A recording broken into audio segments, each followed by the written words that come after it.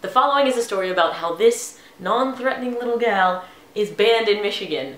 First, let me give you some background about why I'm terrifying. I have a live show that doubles as a drinking game. The audience plays along while I perform. This party that I take on tour is what I call freaking sweet and innovative performance art while other people call it morally depraved. The story starts when I created a voting system on my site to take my innovative party show to the college that wanted it the most.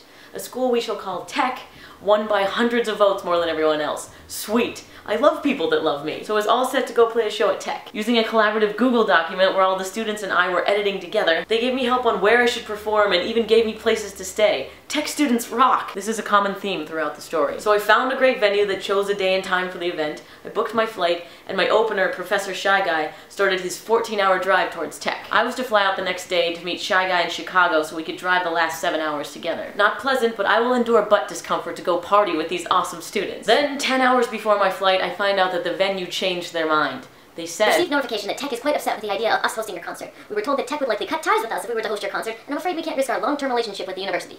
Crap! Shy Guy's already on the road and tons of tech students are expecting us to bring the fun. Well, the fun is back in Pittsburgh crapping her pants. I started scrambling to find another venue and in the middle of that, the sorority that said I could sleep at their house also changed their mind. Crap again! So more scrambling! Everyone's helping on the collaborative Google document and with just enough time for me to pack, I found a new venue and a new place to stay.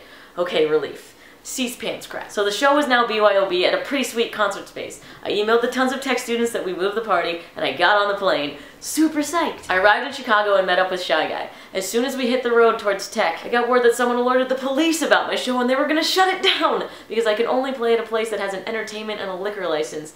Crap for the third time. Now I was scrambling for a venue again, but this time on the highway on the way to tech, with more help from the students, because tech students rock. I was actually able to book a third location with the right licenses. Okay, relief. Again terminate pants crapping and commence being psyched that this is still going to happen. Three hours later I get a call from the third venue owner saying that somebody told the state police and they showed up at his place to shut down this show too.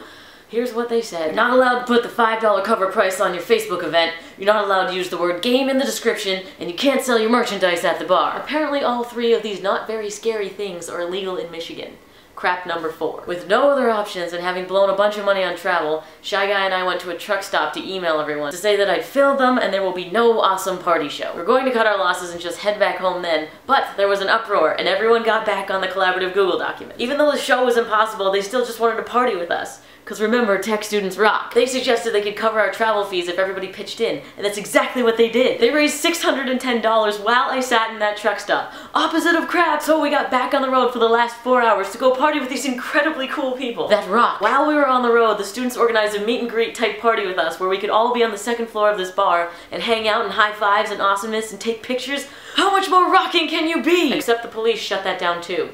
They told the bar, you're not allowed to host any event with Ali Spagnola and Professor Shy Guy. Are you kidding me? I'm not allowed to be social in Michigan? This is insane. So there's crap number five of my story. It seems that there was a person or persons stopping me at every turn, including alerting the state police about my apparently illegal Facebook description, and emailing tech students saying they shouldn't let me sleep in their town. All of the elements of this whole situation put together feels like a concerted effort from one party to keep Ali out. Well said, guy that rocks! I really wish they would have come to me from the beginning instead of sneaking around behind the scenes, making me fight a crazy battle full of stress that I could never win. I wasn't even drunk for most of the fight. Seriously, this is my business, and what they did cost me a ton of time and hard work and money. Totally unfair. But at least now I have a reason to make a badass video about some rock star drama. My music is dangerous! Now the school officially said- This is not a university function, nor is it sponsored by any university organization, so we have no say in it. So perhaps it wasn't the school, perhaps I was just extremely unlucky over and over again. And perhaps the first venue was lying when they said Tech was quite upset about my show. In the end, I did end up staying in Michigan and I did hang out with those rocking Tech students, though we kept it under wraps. High fives had to be low fives, you had to know a password to talk to me. I'm like a walking speakeasy. So there you go. Little me is illegal and banned from partying. Parents, hide your college students because who knows what I'll do next, but it will probably involve beer. One, two, three, let's go!